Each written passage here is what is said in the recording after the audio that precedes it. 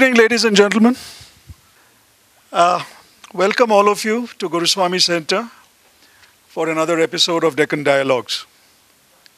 We've been having this series of dialogues on current topics mainly, and also we have tried to look at some topics which are to do with history. 77 years have passed since the partition of India in the emotionally charged immediate aftermath of the partition, perhaps it was impossible to analyze it in terms of pros and cons. But now, more than 75 years later, perhaps we can dare to ask was partition good or bad for India? To try to answer this question, we have two eminently qualified personalities with us today. Professor Ishtiaq Ahmed.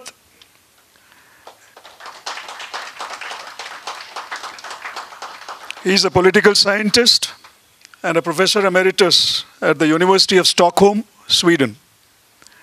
Born in Lahore just three months before the partition of India, Professor Ahmed is also a researcher into the history of partition and in how and why the military has gained an upper hand in Pakistan. He has unearthed several new facts with his research, and uh, he has used a lot of hitherto unknown primary sources of information.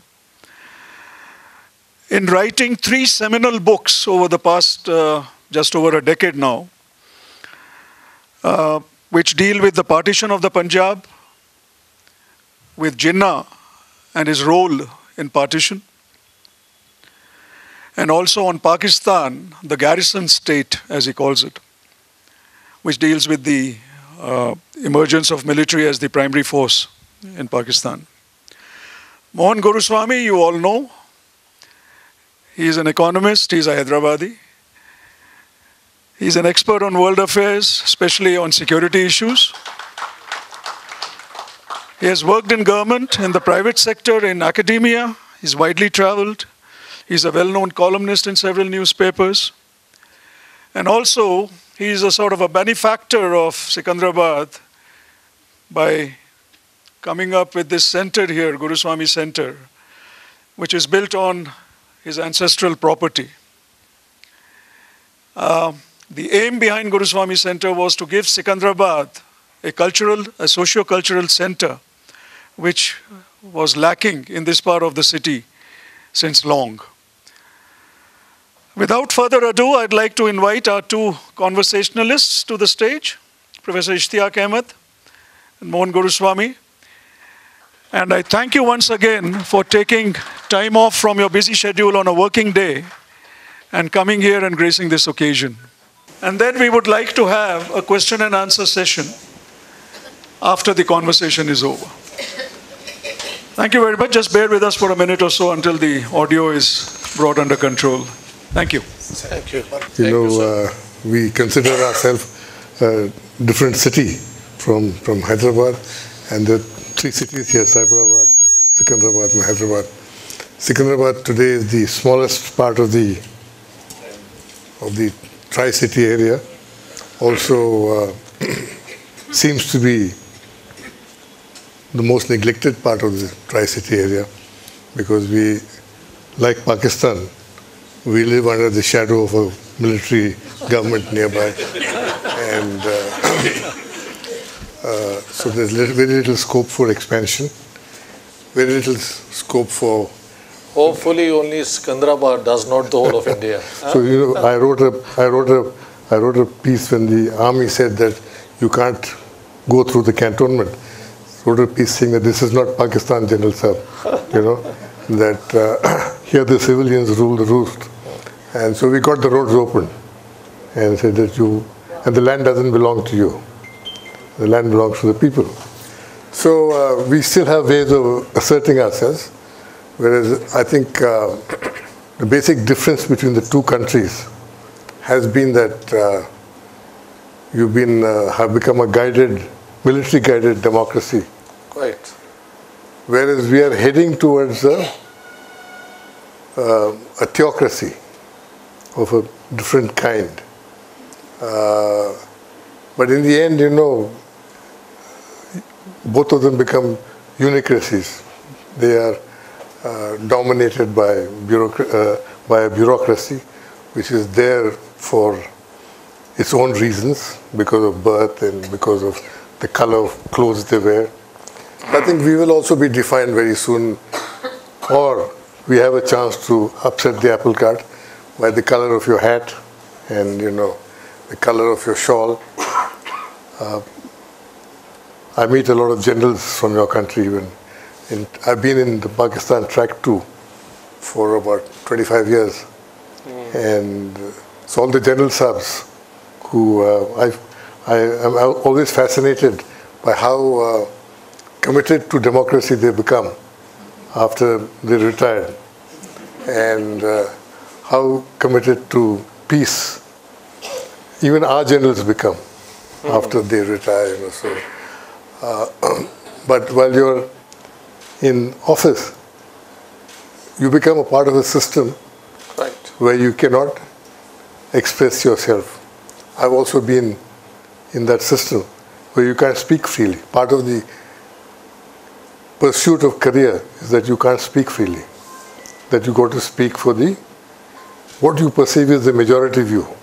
कि you know PM साहब क्या बोलेंगे so that becomes the dominant. So I suppose it's the same in Pakistan. but now we have two countries that have arrived at a certain juncture uh, where questions are being asked by people. In Pakistan, questions are being asked in the provinces, in Sindh, Balochistan, Pakhtunkhwa. In our country, uh, we are asking questions by in the manner in which we vote. Now, there's a cleavage in between the north and the south in this country, where the south votes differently and the north votes differently. The questions in the south now, as they asked in Bangladesh in 71, as to we pay most of the taxes or more taxes, and why do we get so little from you? The questions which were answered in Pakistan by rise of Bangladesh. These questions are being discussed now at the incipient stage. But I think a time is coming when India will have to deal, and that you have to also learn the lesson of Pakistan that religion doesn't bind. If religion was binding, then you wouldn't have had so many vociferous movements in Pakistan. And religion cannot bind India. Therefore, I think our founding fathers, in their wisdom, said that we must have a new nationality. So the nationality was based on reason, based on the notions of equality, based on the notions of, of economic growth, of scientific temperament. And this was the new Indian, the entering into the brave new world.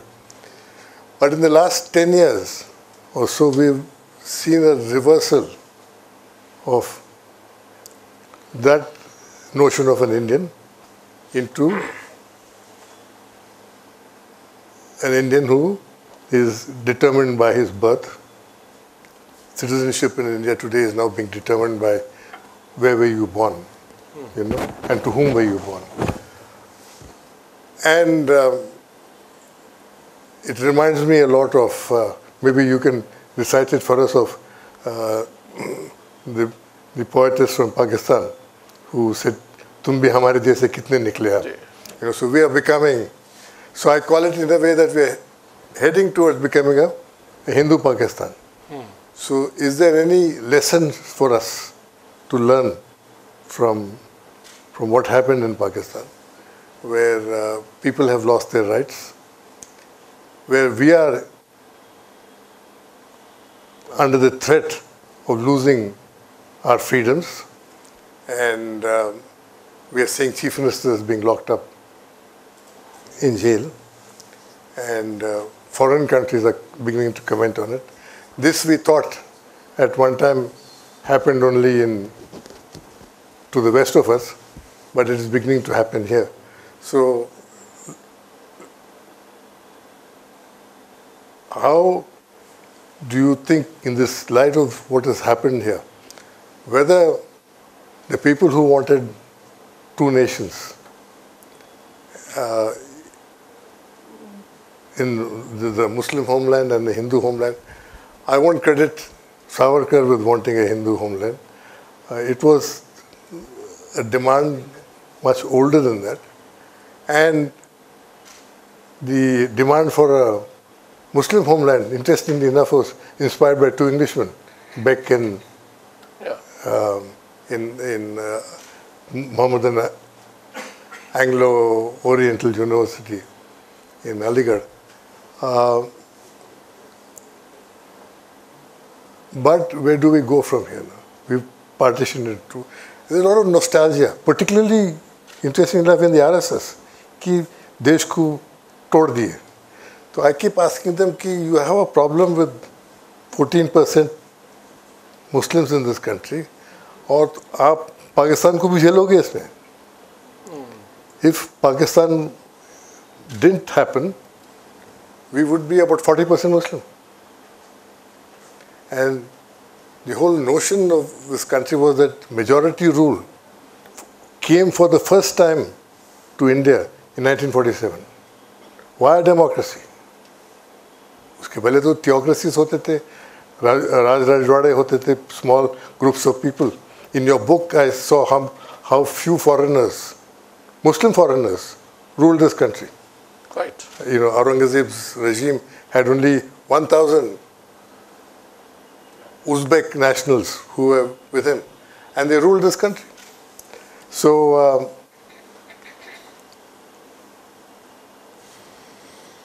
question for you therefore is that as a Pakistani scholar, what does this country do now?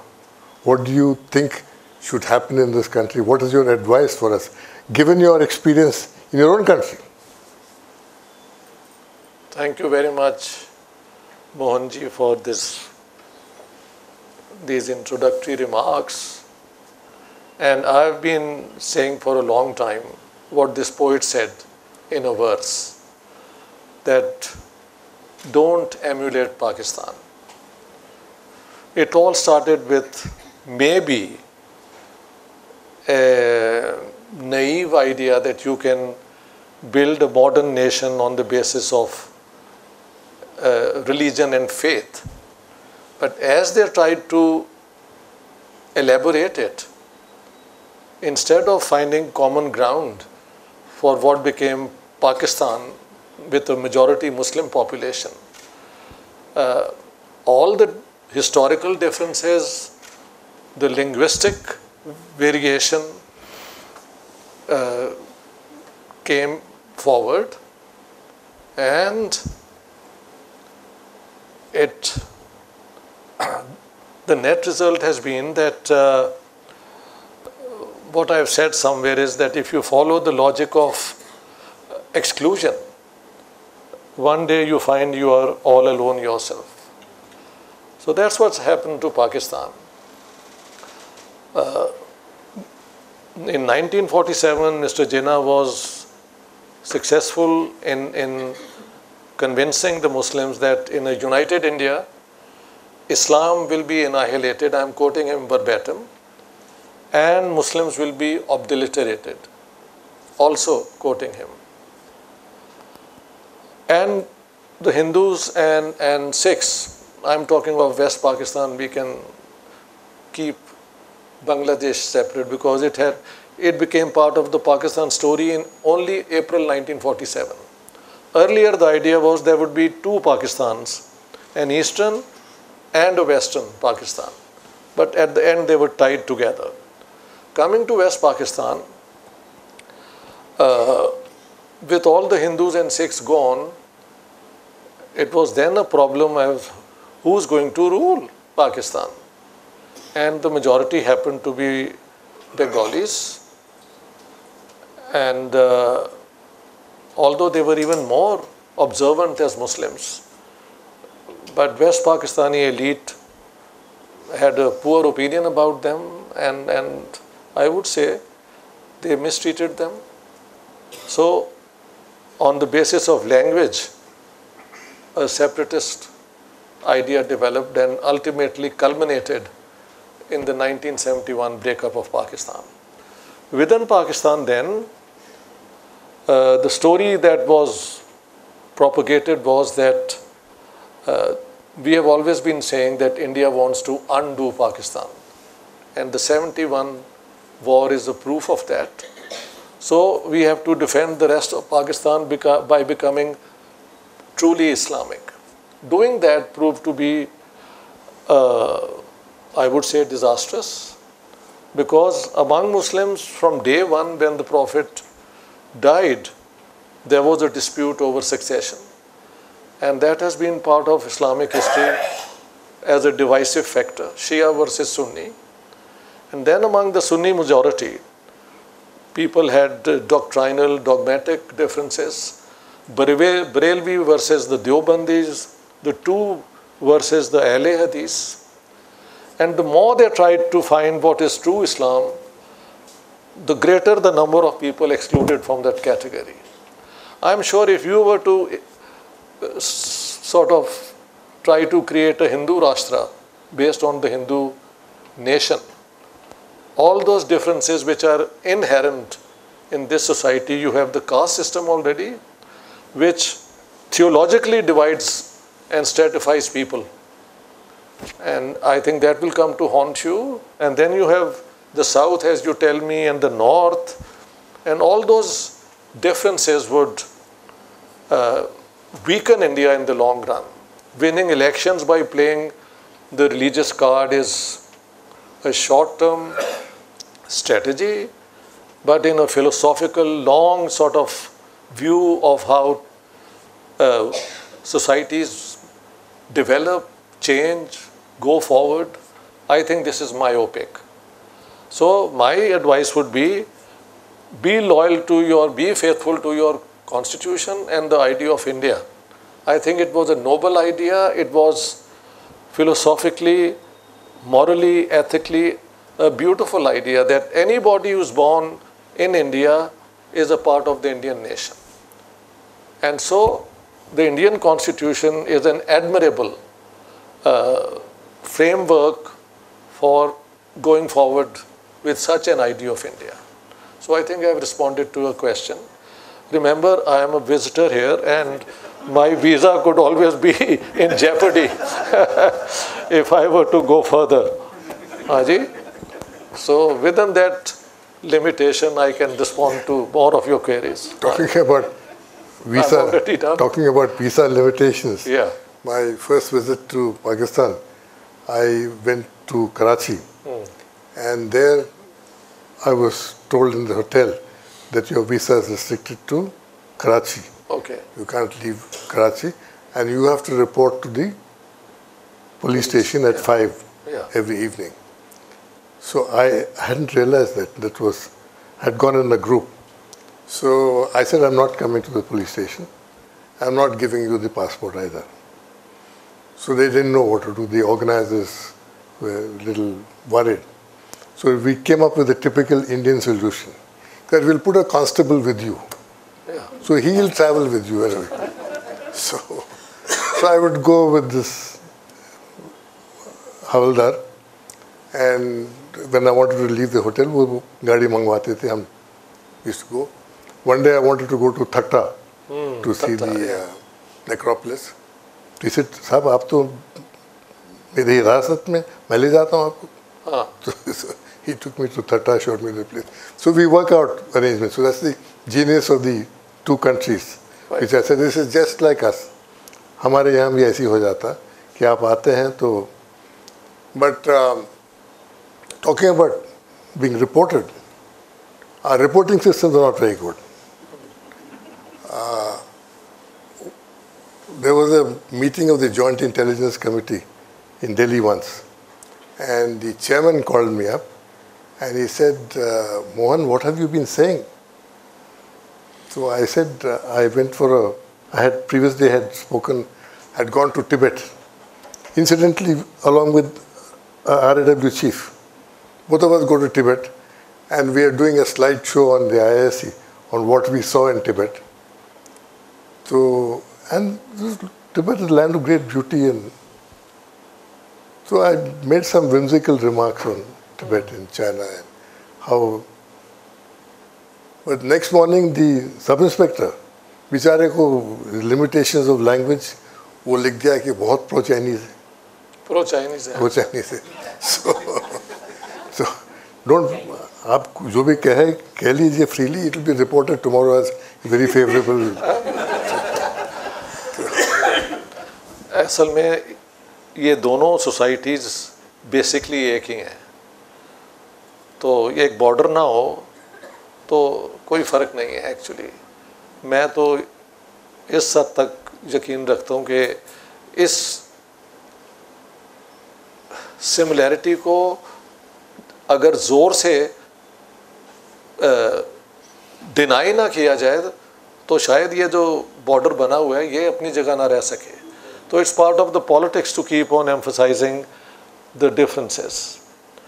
Uh, given a chance, you know the number of Hindus and Sikhs who have been to Lahore or to any part of Pakistan, the reception they receive is so warm and so generous and so welcoming that the official notion of all Pakistanis hating India and Hindus doesn't hold water.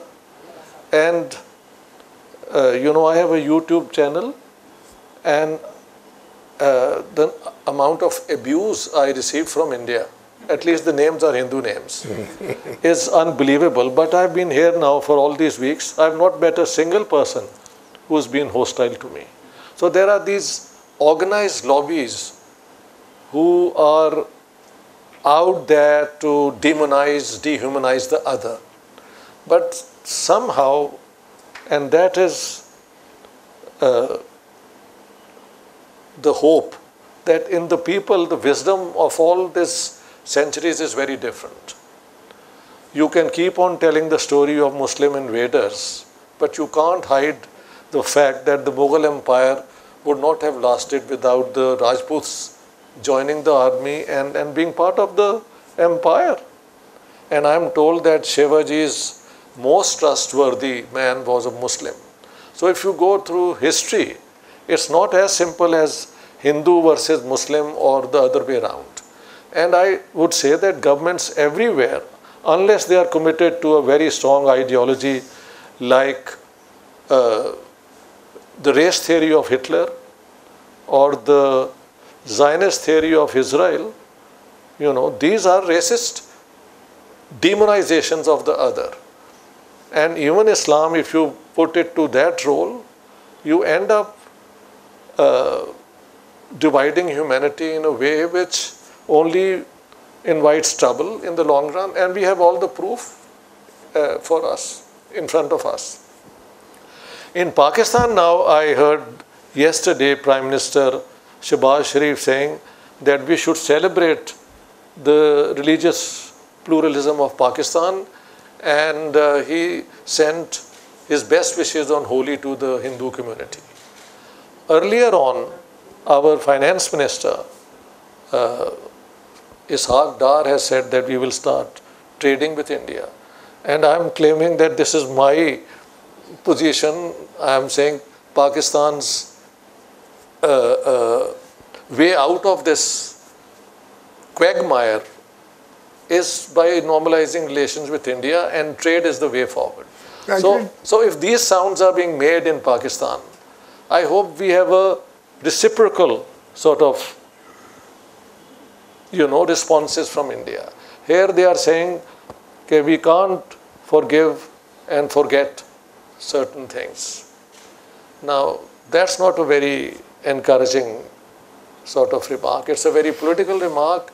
It's an election related remark, but it's not the statement of a statesman. So there are problems on both sides. Historically, when one side has been willing to go forward, somehow from the other side, more often uh, from Pakistan, the peace offer has been sabotaged. Uh, I would say that in 1962, when India went to war with China, uh, Zulfikar Ali Bhutto, who was, I think, foreign minister, strongly advised General Ayub Khan to start a war on the Western Front. But he refused to do that. So there have been occasions when Pakistan has acted in a South Asian sort of way and not exploiting the weakness of India. On the other hand, we have had Vajpayee coming to Pakistan with a peace offer, which I think was uh, very warm, sympathetic, and generous. Even the Kashmir issue was part of some sort of settlement where uh, all sides were included, and then we sabotaged it. And then Narendra Modi ji went to a private wedding, and Pathankot happened. So we are hostage to these constituencies, which is also, by the way, present in India, maybe not so easily identifiable as in Pakistan, but who don't want the people of this region to live in peace, build trust, and go forward. So the question is was the partition good or not good for India? I think that's what you have the theme for today. Depends on how you look at the consequences of the partition. I have argued that if it had not happened, it would be good for everyone, especially for the Indian Muslims. Because Mr. Jinnah's two nation theory, besides dividing the subcontinent, also divided the historical Muslim community of a thousand years here. Nobody talks about that. And uh, uh, the bloodshed which took place in 1947 continues to haunt the politics of this region. So, had the partition not taken place, the Muslims of the subcontinent would have India as much as their home as the Hindus, Sikhs, and so on. So, I would say the politics of today are a consequence of the partition. So, if we could do without a partition, things would have been very different. I'm not saying it would be all smooth sailing, there would be all these narrow minded communal problems. But historically, I think these problems during the pre colonial, when I say pre colonial, I mean the British period before that, uh, whosoever was the ruler accepted the framework that the ruler is the protector of all communities. And more or less there was peace, uh, Hindu, Muslim, Sikh, Christian, whosoever. It's only in the colonial period with the census records objectifying religion as a point of division. And then, of course, British policy and our own politicians complicating matters, ultimately came the partition. So had the partition not taken place, uh, I'll give you an example. You talked about generals when they are privately speaking and when they are in an in an official position. In, in June 1947, after the 3 June partition plan was announced, there was a breakup party in Quetta at the uh, officers something which is, you know, mm and, uh, and staff college. A staff college, staff college Quetta. And General Yahya Khan, then a major, uh, was an instructor. And so the British Indian Army was breaking up now. It was the breakup party. And uh, Colonel uh, Verma, he got up and said, Well, we have been one uh, brotherhood. We have fought in wars together and we have all those close relations. Now we are becoming part of two nations. So I congratulate you for getting Pakistan. Let's hope this friendship uh, continues to define the relationship between India and Pakistan. So he made these very, uh, I would say, uh, warm uh, remarks. Yahya Khan gets up and says, Sir, what is there to celebrate today? Today is a day of mourning. Together we would have been a great power. Now we will start fighting one another. And in 71, the same man had to conduct the war because then he was the president of Pakistan. So, an individual who is free to make an opinion is one thing, but once you are part of something like a state organization, your own freedom is gone. So, I think the partition for me has been a regressive act, and its negative features are still haunting us. And uh, uh, so the two nation theory is now part of the Indian politics very much. We are still wedded to this Ghazwa Hind and so on, which I think is nonsense. and uh, but such occasions when we get a chance to express a dissenting point of view and intellectuals, academics, artists, I think they have a role to play in, in combating the negativity which was unleashed in 47 and still is part, pervades, permeates our relationships. Does it also reflect the internal arrangements in Pakistan where uh, one region Punjab dominates yeah. Pakistani polity, and uh, and therefore it needs an animosity with the neighbor to continue its dominance over the polity.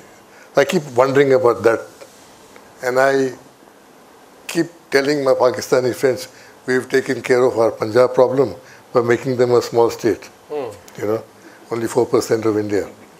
And तो उनकी आवाज़ उतनी सुनने नहीं आती आजकल but Pakistan has settled with this problem uh, where there's overwhelming there dominance. Is, there is a demand to create a Saraiki speaking province in southern Punjab. Uh, but still, no doubt helped by still I people. think it would still be 48% Punjabis, even if this 7% is taken away. So Punjab is too ubiquitous in Pakistan to be affected mm-hmm. by some meandering of, of, of borders and so on. Mm-hmm. Pakistan is Punjab actually, and, and uh, for good and bad, mostly bad now I think. And for the first time, the Pakistani state, which I mean is the establishment or the army, uh, their uh, claim to be the custodians of Pakistan is increasingly being challenged in Punjab. So that is a new trend. And, and hopefully things would change with time. You see, Pakistan has been able to get away with impunity because every time it was in trouble, uh, some foreign donors was willing to help. The Americans, then came the Saudis, and now the Chinese.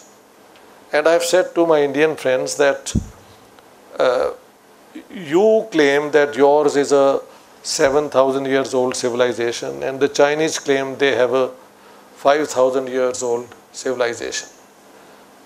What is the proof of that? Where is the wisdom? Why can't you sort out your border dispute? My own theory is that as long as states have their borders uh, uh, ambiguous, undefined, there is bound to be the security issue paramount in one way or another. So, if, if India and China can sort out their border sort of problem, uh, Pakistan's role for China would become less interesting because despite the fact that India and China are in a sort of position of tension all over, I keep on hearing this, but they have not let their trade be affected by that. Whereas in Pakistan,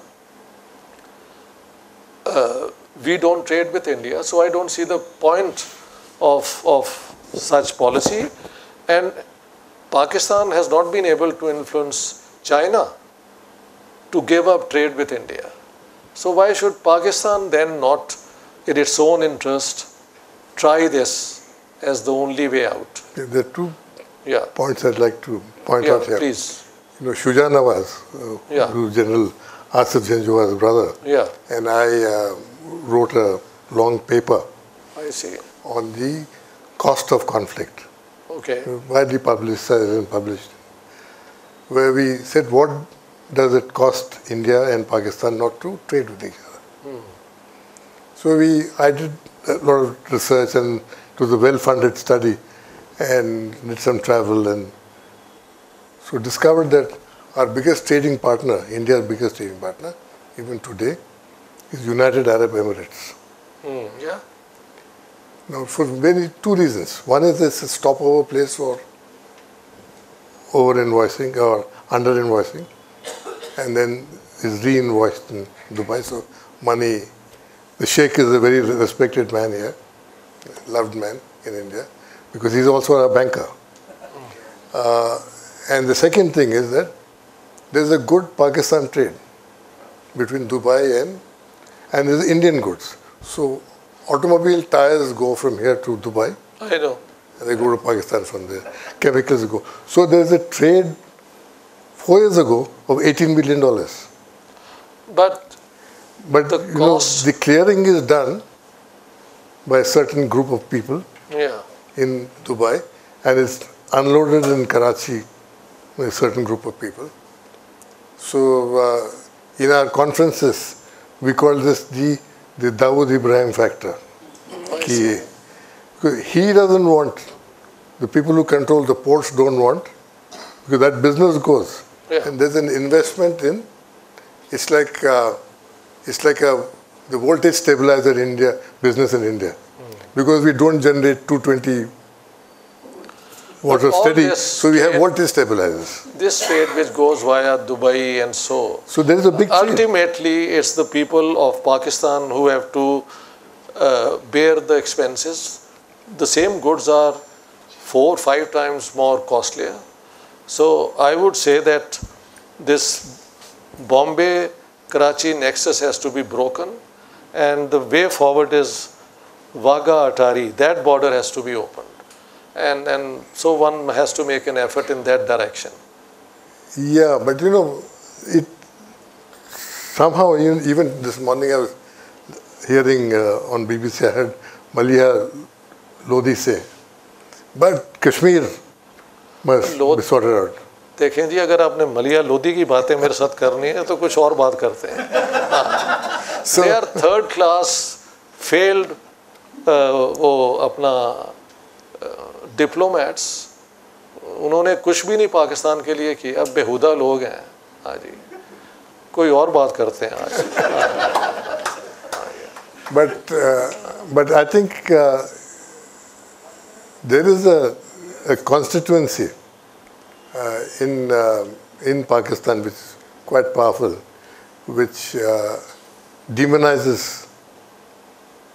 India, of course like our constituency, which is we need uh, Pakistan if we uh, I- we also have our past to demonize. Sorry We also have our past to demonize. Okay अगर अ, नवाज शरीफ नहीं मिले तो औरंगजेब है तो you know we can demonise but to that extent partition has failed to solve our problems both in India and in Pakistan because we didn't become modern nations.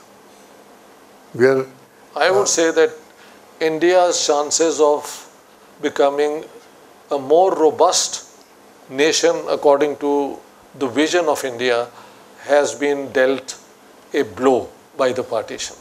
And now though that blow is having its uh, impact felt in the politics of India. Pakistan already became a victim of it. So once you create a state in the name of a religion, you don't do any honor to the religion, you only make it part of the political tussle. And the spirituality and the high values of any religion are easily compromised. So if you do that in India, uh, the so Sanatan Dharam and all the stories I hear would end up creating all the divisions which have existed historically. Uh, so coming back to this whole notion of the partition, was it good for India? Now, of course, some people are saying that had we had all the Muslims in India, and they would be 40 percent, uh, India as a Hindu nation or majority nation would be under threat. So it was good to have the partition. So that's another way of looking at it. Uh, those who believe in the Hindus must remaining the majority uh, think that the partition, whether it was good or bad in 47, in the long run is good because 15% is still a problem for them. And if they were 40%, it would be a problem uh, for them. So I don't subscribe to that, I think, uh, because it's not just the numbers which matter, but also how they have been trained to think, to understand their rights, their obligations, and their identification with the state. Having created Pakistan, you, your loyalty uh, demanded a rejection of all your past. And that has created many problems in our own sense of history. And in India, this is going on also. Every time you find a villain at the, in the story, it's always a Muslim. So I think they have learned their lessons from Pakistan. So this poet, when she said this, probably meant it in a cynical manner. Of course. And I think that's the point, yeah. Yeah. The, um, talking about China, we mentioned trade in China in passing. India can't get off that tiger because the Chinese trade surplus with India is almost 60 billion a year now. Okay. And growing there would be no pharma industry in India tomorrow if we don't get API right. chemicals from China. The entire base is built on Chinese chemicals There would be no computers in India unless we get Chinese computers. Even today, with all this talk of mobile phones being assembled in India, the value addition is only 3%. The parts come from from China and they get snapped together here. So we are, there's a dependency with China. You know, the general public says कि वो China से गणेश आ रहा है, China say, you know, plastic saman This is the top end, 1.2 billion dollars worth of things. The bottom of the iceberg is something which we can't get off. It's uh, uh, very easy to say that you know China co We have actually contributed. I always write that in the last 10 years, we've contributed a trillion dollars to China's growth by trade surpluses with China. So unless we build, industrialize, but we have a, a free market system here, again ruled by lobbies, which will say that, you know, Chinese trade is good for us. Yeah. But we don't have a still a lobby in Pakistan which says, you know, Indian trade is good for us. No, there is a lobby, by the way. There is Noor Muhammad Kasuri Saab, who's a businessman and then uh, packages the owners. Sayyid Babar Ali, his son, the two of them has actually issued a statement of uh, saying that if we trade with India, these are the benefits and Pakistan gains more than India does. Absolutely. So uh, if you go to my Facebook and I uh, upload pictures of every day, Kasuri Saab is always writing there, you are doing great service and so on. So there are people who uh, think beyond this confrontation with India. And I think Pakistan's existence now is gravely threatened by the, by the failure of the economy any society which has failed economically cannot sustain itself for a long time. So if they really want to get out of the rut, the only thing they have not tried, they have tried everything. They were part of the military alliances of the Americans. For them, they fought the so-called jihad in Afghanistan. Then in the sectarian conflict between Iran and Saudi Arabia, we sided with the Saudis and got the money for it. And now China, with its CPEC and so on, uh, is the only one around. But the Chinese are not so generous with the uh, money they give. I'm told that the interest rate is very high and so on. What is your comment on CPEC, CPEC? Well, I think the whole idea was a great one. Pakistan would be by 2019 exporting electricity. But the truth is that nothing of the sort even remotely is happening. Uh, you see, we have allowed the extremist lobby to gain so much prominence that uh, in one of the projects, a Chinese engineer told the workers that when you go for the afternoon prayers, you don't come back. And we pay you for the eight hours. Uh, and, and so he, he was going to be lynched. It was just in time that the army came and saved him. So the Chinese must be taking notice of investing so much in Pakistan when Pakistan has not been able to de-link itself with this, with this extremist uh, mindset. So I think China is now skeptical. But real politics depend, requires that to keep uh, pressure on India, Pakistan is important for the Chinese. But this is all instrumentalism. There is no principled friendship, I would say. Uh, so that's the problem. It's a very tenuous, very fragile sort of thing. But it can continue for a long time as long as India and China have not sorted out their problems. This is something I've not understood about Pakistan. Yeah.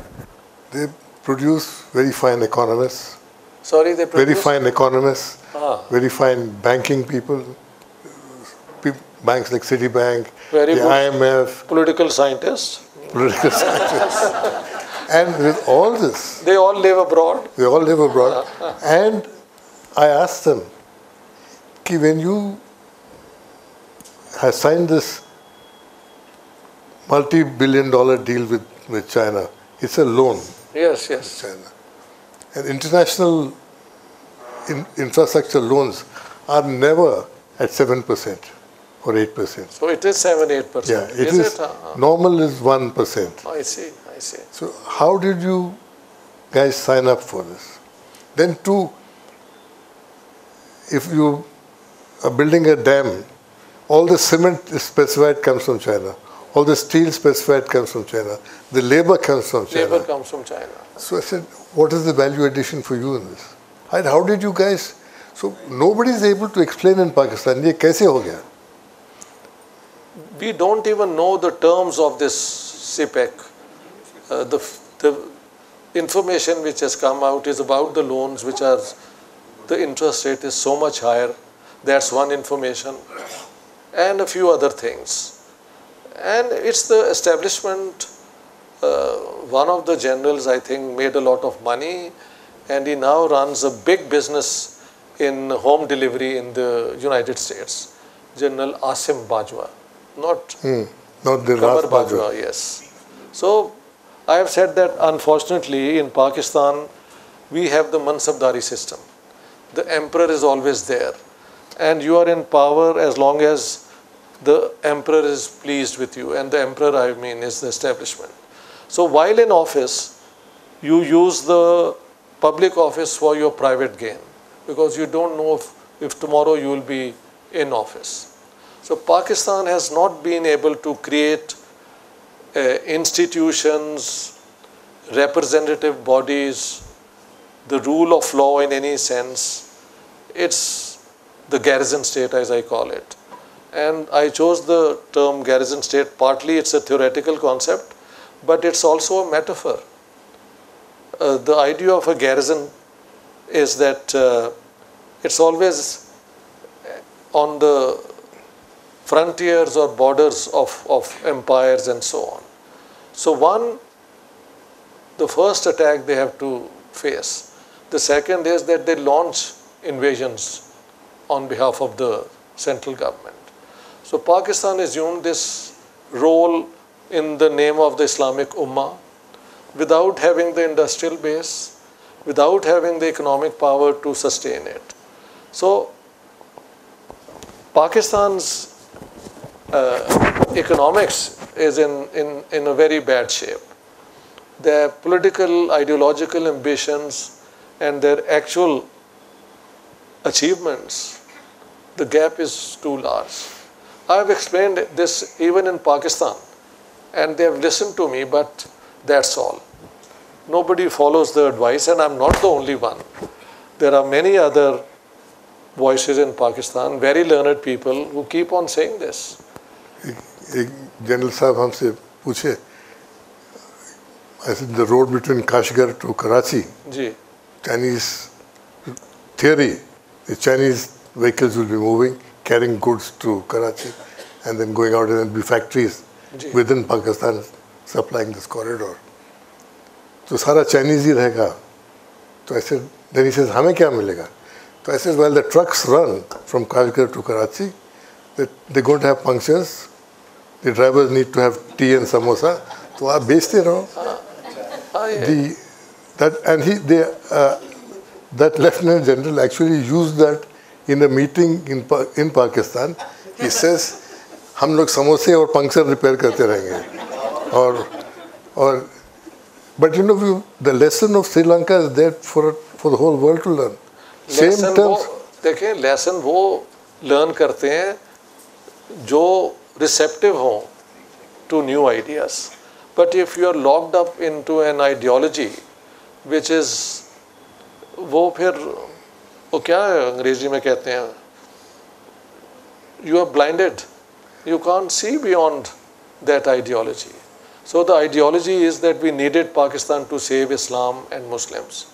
And Mr. Jinnah, by the way, on the 30th of March 1941, while in Kanpur, was confronted by the Muslims. And they said that the 1940 resolution demands Pakistan in areas where there is already a Pakistan. Hmm, hmm. All the chief ministers are Muslims. So what will happen to us? And Jinnah said that I will make 2 crore, 20 million Muslims experience martyrdom and get smashed in order to liberate 7 crore from the tutelage of Congress Hindu Raj or some. So Jinnah, I think, couldn't give a damn about even the Muslims. He just wanted his revenge from Gandhi. I have explained at length hmm. that this was a psychological problem for him, that he believed that he was the leader to lead India forward. He had been successful with the Lucknow Pact. Then Gandhiji comes and takes politics from the closed door sort of thing out in the masses, mobilizes the masses, and Jinnah felt that uh, he has been reduced to second fiddle and that he was not willing to accept. The occasion to get the revenge came in 1937 when, after the elections, the Congress leader said that those Muslims who have been elected on a Muslim League ticket must first resign from the Muslim League and join the Congress if they are to be considered for a ministership. And on that occasion, then Jinnah finally found his way forward.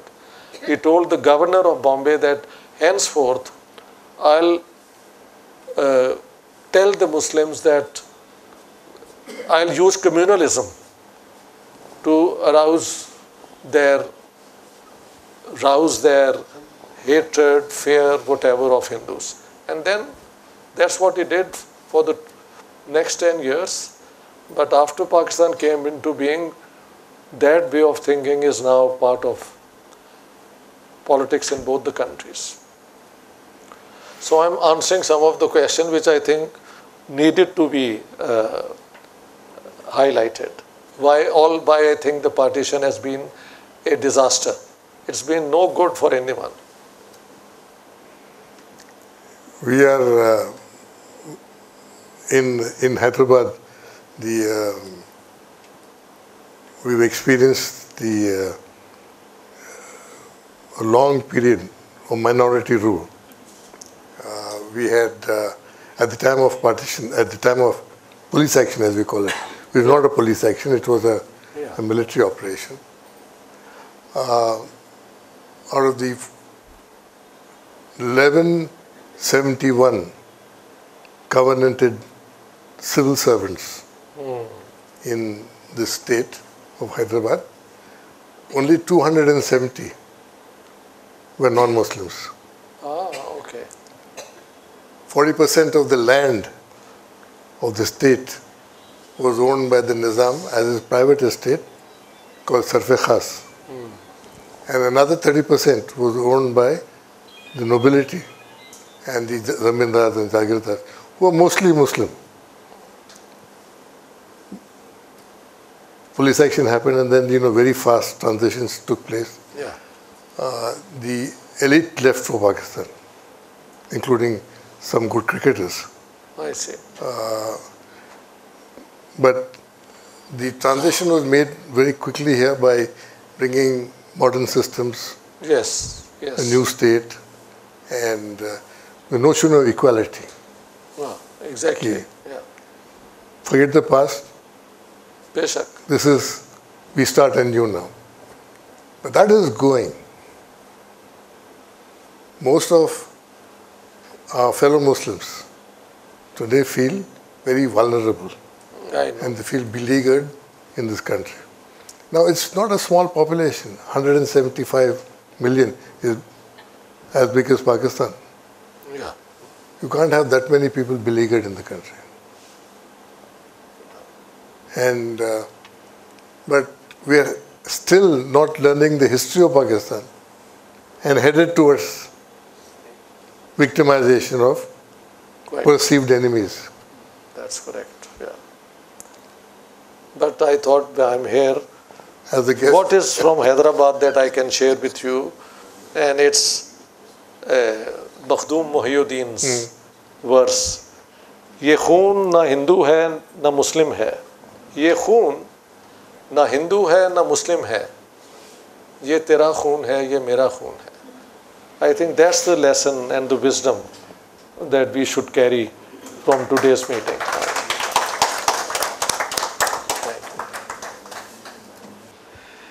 thank you doctor sahab thank you Mohan for a very illuminating discussion and uh, a discussion which touched upon several uh, topics which are of interest. You know, they may have their origin in the uh, 19 at, uh, at, from the time of partition, but they're still very relevant to all of us today. Uh, I will now. We are, we are at 7.30. We'll have a short 10, 15 minute question and answer session if in case anybody would like to ask a question from either of our two panelists. Uh, you could just raise your hand and I'll come and uh, you can ask a question. Just uh, please introduce yourself short- in a sh- you know, very short manner and ask your question to the point. Thank you. Uh, I am advocate Umesh ये जो आपने कहा कि to nation सही था या गलत था? जब वहाँ देखा जाए उस समय, उस वक्त तो बड़ा गलत था। आज इस वक्त देखा जाए तो हमें लगता है कि सही था। इसलिए सही था कि हमने देखा है, इतने सालों में हम we are born after independence तो 62 बॉर्न कि इस्लाम में और हिस्ट्री में भी ऐसा है कि तलवार के ज़ोर पर धर्म को फैलाते हैं। और जितनी चाहे ज़मीन नहीं नहीं सवाल पे आ रहा हूँ। सवाल पे। ऐसे है। ना सवाल तो ऐसे ही तो नहीं बता सकते हैं। तो करने तो सवाल कर रहे हाँ, सवाल नहीं, कोई सवाल के पहले उसकी 15-10 एक ज़मीन बना रहे हैं साहब। आई डोंट माइंड हाँ। नहीं। जी जी। तो अभी जब आपने कहा कि जो सनातन यहाँ पे चल रहा है आपके आपके जबान से सुना कि सनातन जो है ये ये भी चलना एक धार्मिक जुनून है। ये बात सही नहीं है साहब। आप कैसे मान लेते हो कि सनातन गलत है? ये पूछता हूँ मैं आपसे। क्योंकि सनातन में कहा जाता है कि सर्वे सुखिनः संतु सर्वे संतु निरामय। सर्वे भद्राणी पश्यंतु माम कश्चित दुख भाग भवे तो ये आपका सवाल क्या है? सवाल क्या है? तो ये बोल रहे हैं कि आपने कैसे मान लिया कि सनातन के बढ़ने से यहाँ पे उसी तरह का पाकिस्तान जैसा माहौल बनेगा? अच्छा अच्छा। Thank you. ठीक है। बात ये है कि सनातन तो खैर बहुत पुराना है। इसके अंदर कम से कम ढाई हज़ार साल कास्ट सिस्टम ने जो दलित्स का और वो उन उन लोगों का जो बुरा सलूक उनसे किया है तो ये उसी का हिस्सा बना रहा है ना। अब आप ये कहेंगे जी बात सुने बात सुने। एक ही सवाल- अब आप कहेंगे कि वेदास में ये नहीं नहीं था। हो सकता है वेदास में ये नहीं है। सोशल प्रैक्टिस का तो ये हिस्सा था। तो बस एक ही बात है।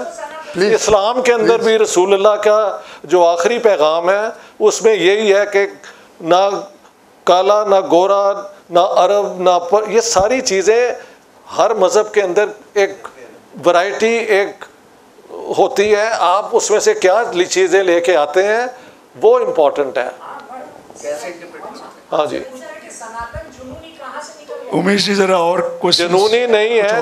अरे बात सुनो जुनूनी नहीं है। तो। दलित को मंदिर के अंदर आने से किसने रोका है?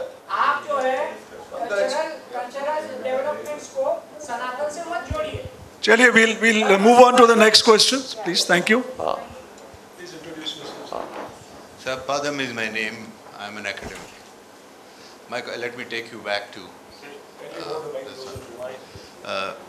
if Jinnah had lived 10 more years, just as Nehru had lived after independence for a long time, what would you think would have happened? Well, I have said the time he lived, he destroyed the basis of democracy in Pakistan.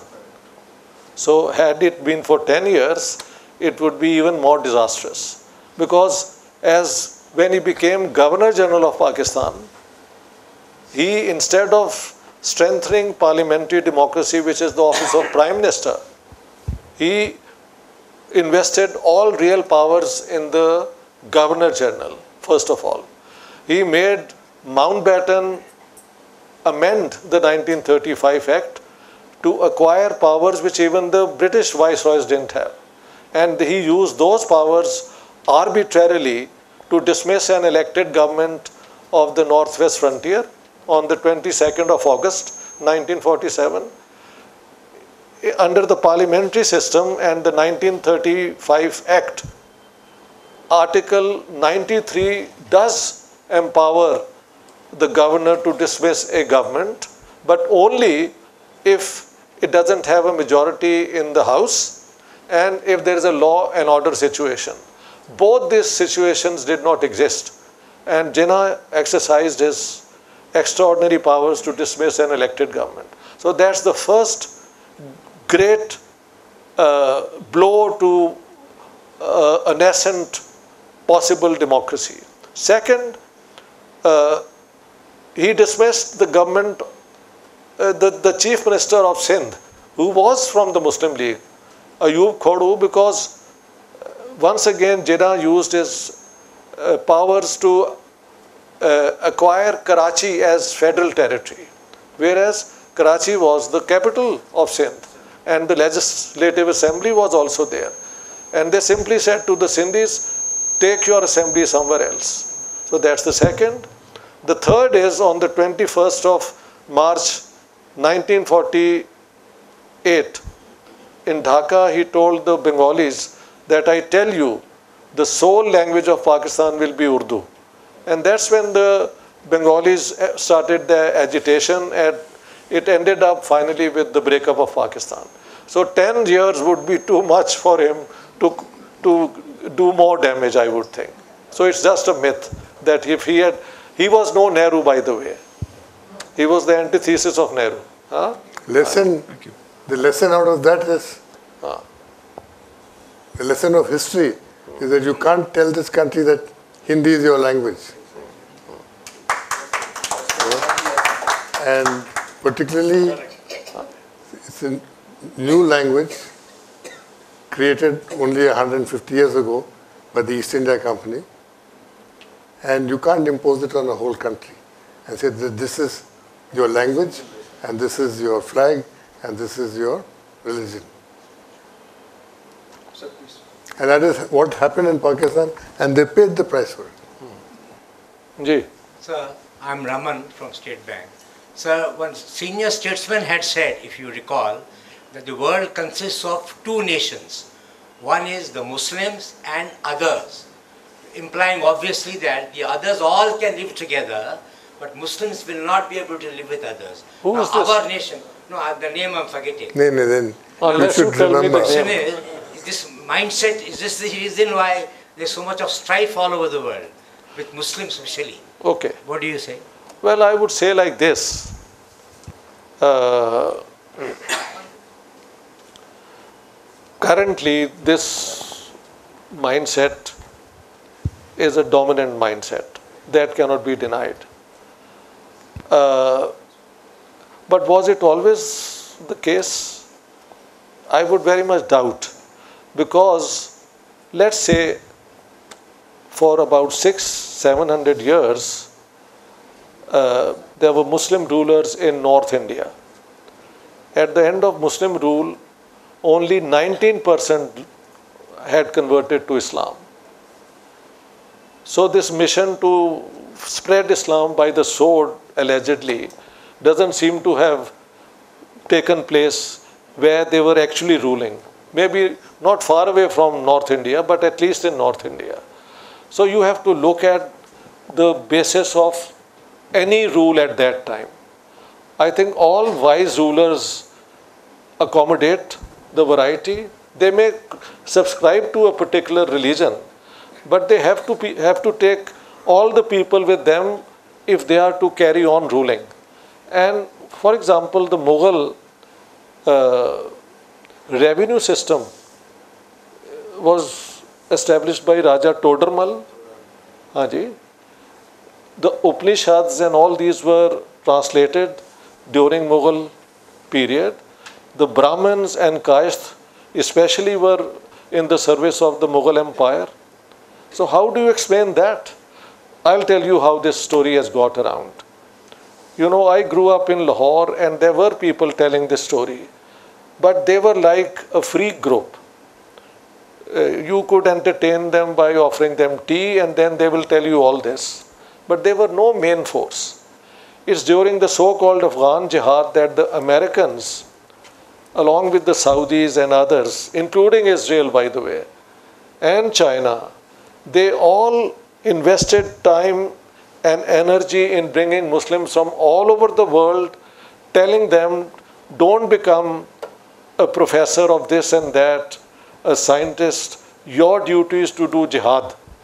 So, this jihad ideology, as we understand now, is a gift of British American manipulation of, of a certain tendency among Muslims. So, now that if you look at what the Saudis are doing, do you think they are into this type of thinking that they want to dominate the whole world अभी तो Hindu temple बने हैं यार कुछ तो बात सोच के किया करें आप लोग। हाँ जी people are changing with times so objectifying everything with just one group is not fair I think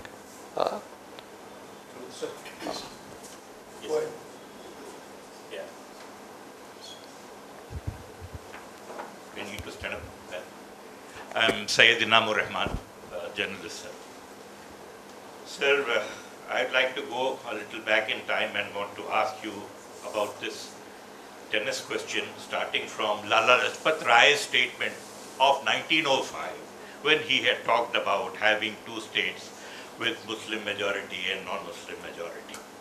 And in that context, and in the context of the 1937 ministry formation, when deserving non-Muslims were denied chief ministership and ministries, and like in Bombay, like in Bihar, uh, that thing, and then these are the things which are which went on to trigger this thing.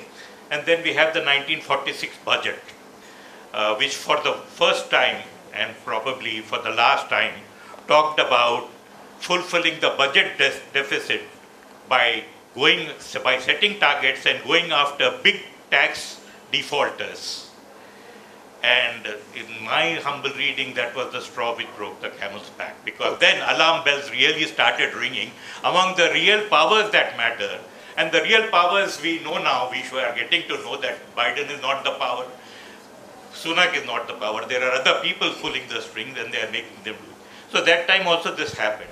Indian history, in my humble knowledge, have not been understood, understood in the context of the corporate role in the Indian, in the events which unfolded in India, especially from the time that the corporates, Jagat Seths and Durlabhs and he helped the Clive and after that somebody took him to the Durga temple and said since there is no church there you may as well worship here. He did that and so many temples were rejuvenated and we had a series of temples getting reopened and the Devdasi culture going on full swing because the British could not bring their women from England.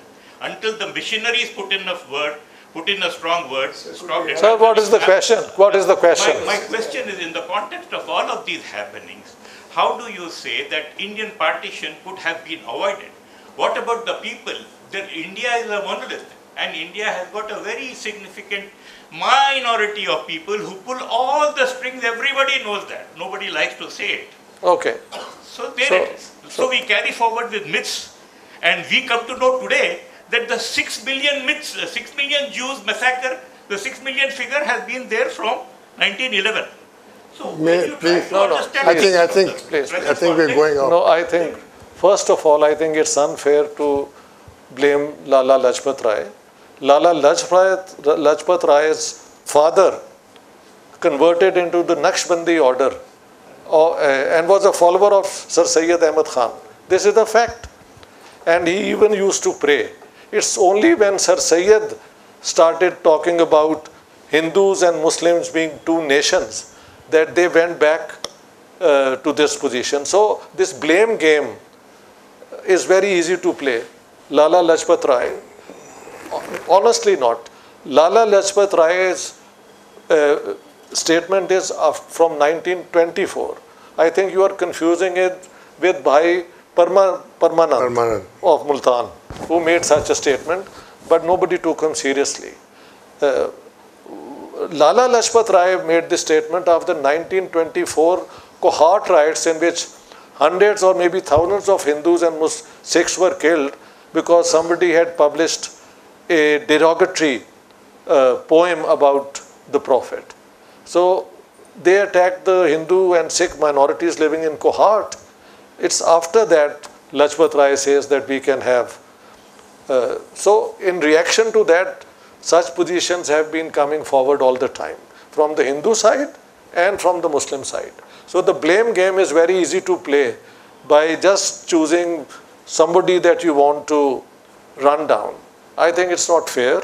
Second, your question about, uh, I, I grant you the point, the 1937 election, and I think the Congress did make a major miscalculation by uh, thinking that since the Muslims have not voted for the Muslim League, they can now force them, the Muslim Leaguers, to abandon it and join the Congress.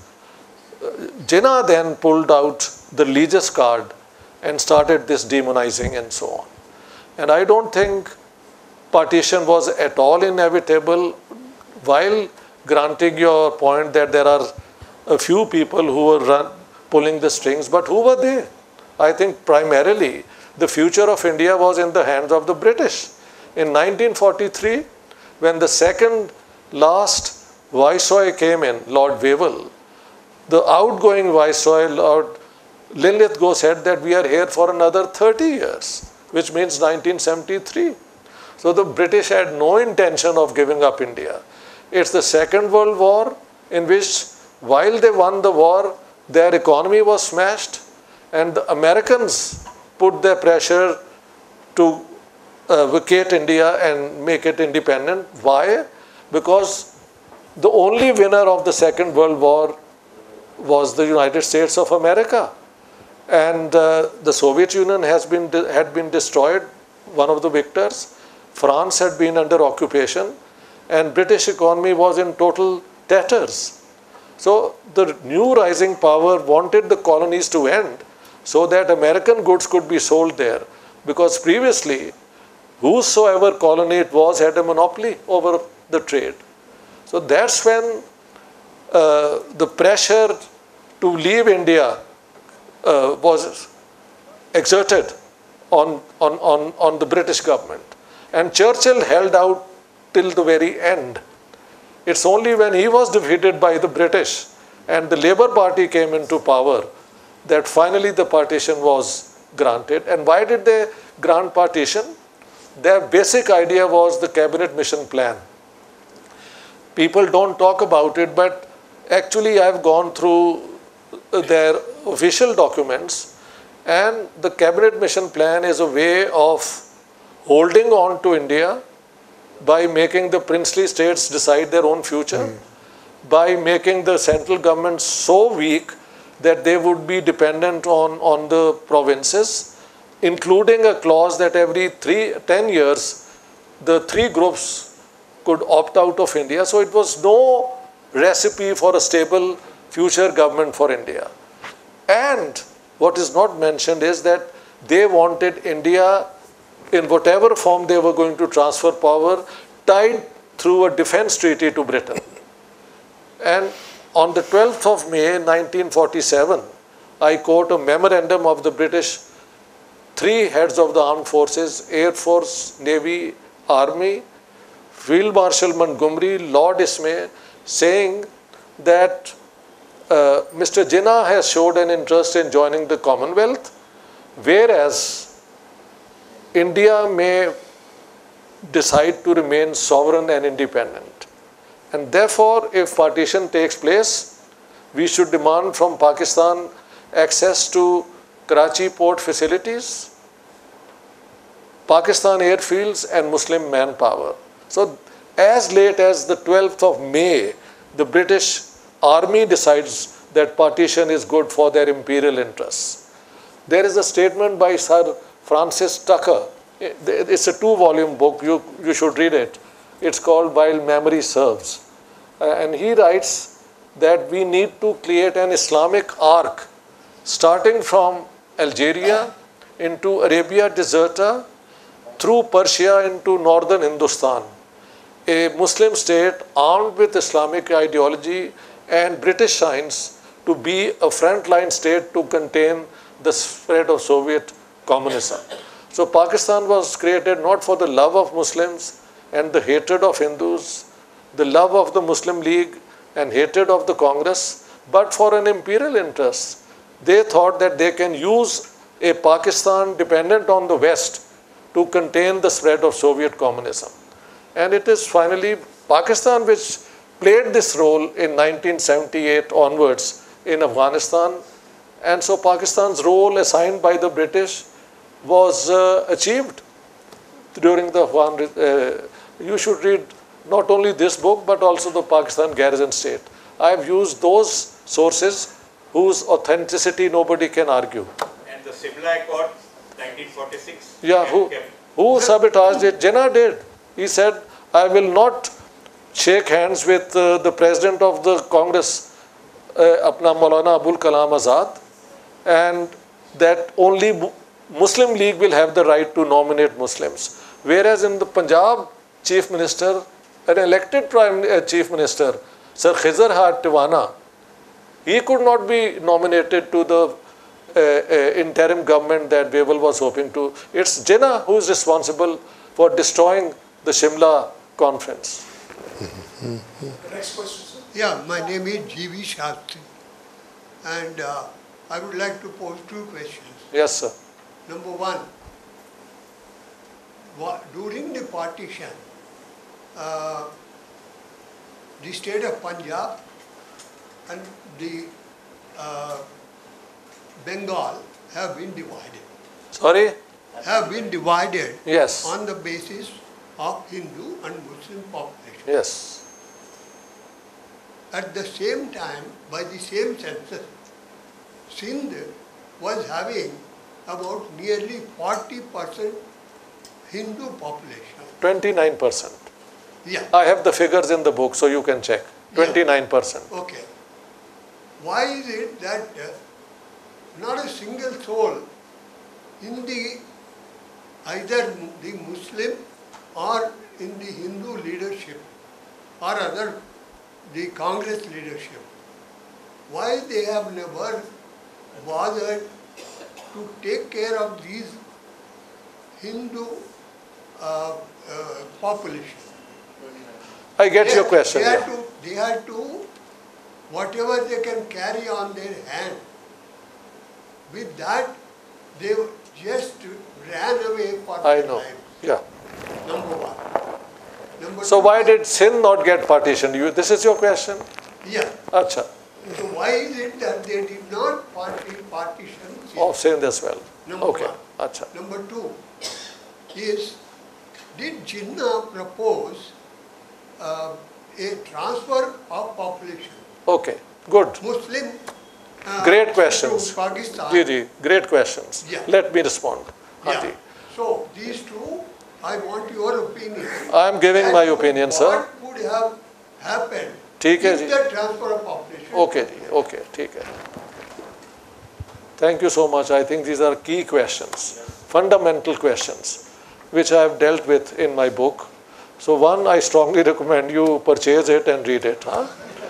But responding to it right now would be like this, that on the 23rd of March, when the Lahore resolution was passed, one week later, Sardar Sundar Singh Majithia of the Sikh Nationalist Party said that if the Muslim League doesn't consider India as its homeland, then those parts of Punjab in which Muslims are not in a majority, we would see to it that they are not part of Pakistan. They should either be given to a Sikh state or to India. So already one week after the Lahore resolution, the Sikhs came out demanding the partition of Punjab in case India was partitioned on the basis of religion. Similarly, in Bengal, the Hindu Mahasabha took up the same position. And the Congress party struggled till the very end to keep India united. But uh, when on the 4th of March, communal riots broke out in Punjab, and especially in Rawalpindi, the Sikh villages were surrounded and massacred in large numbers. That's on the 8th of uh, March 1947 that the Congress finally passed a resolution that we support the Sikh demand for the partition of Punjab in case India is partitioned. So Jinnah wanted India to be partitioned on the basis of religion so that Pakistan or Pakistans could be created in those areas where they were in a majority. This was counted then by the Sikhs and then the Hindu Mahasabha. And the Congress finally realizing that partition is now going to take place, then supported the demand for the partition of these two provinces. Now coming to the Sindh. The problem of Sindh was that although Hindus were 29% of the population, they were dispersed all over except for the districts of Tharparkar. There, there was a slight Hindu majority. But in all other parts of Sindh, there were Hindus everywhere, mostly Amils and Bhaibands, but they were nowhere in a majority. Whereas in the 29 districts of Punjab, undivided Punjab, 17 had a Muslim majority and 12 had a Hindu Sikh majority. So, similarly in Bengal, in a number of districts, the Hindus were in a majority and then Muslims in a majority in the other districts. But in Sindh, unfortunately, the Hindus were everywhere but nowhere in a majority except in Tharparkar. And I think in Tharparkar, the local Muslim leader said that we will uh, protect you. So, and they agreed, I think. Only one district could not have opted out of Sindh. And I can tell you that whereas in Punjab, the Muslims attacked the Hindus and Sikhs in a vicious manner, and then the Muslims of East Punjab were attacked in a similar way. Sindhi Muslims did not attack their Hindu and Sikh brethren. It is the Urdu speaking lot who came from uh. Bihar and Delhi and all. When they came, they wanted houses, they wanted businesses, and from whom could they get these things? From the Hindus who were living there. So it's from January 48 onwards that the Hindus are forced out. Although in some cases attacks on Hindus and Sikhs started taking place even earlier, but nothing comparable to what happened in Punjab. That's the difference. Okay? Yeah. We'll have the last few questions, three or four questions. इधर भी हैं जी I'll just come, that's it, I just come. मैंने कोई छेती नहीं मैंने कोई छेती नहीं। हाँ हाँ जी ट्रांसफ़र ऑफ़ पॉपुलेशन अच्छा अच्छा। Great idea in nine you know first on the sixteen of August Jinnah's direct action leads to massacre of Muslims in Hindus Muslims in Calcutta it's called the great Calcutta killing afterwards the Marwari then armed Hindu uh, Bihari workers in Calcutta to go and attack the Muslims of Bihar. And in Bihar, about five to 7,000 Muslims were killed. One sided massacre of Muslims in Bihar. And on that occasion, Jinnah said that we will have to consider the partition, uh, the exchange of population. But I think later on, people told him, whatever Pakistan you get, if the if the Muslims from the whole of India are forced into Pakistan, Pakistan would collapse under the weight of the millions of Muslims, 35 Muslim. In 1930-47, the population of West Pakistan was 33.7 million.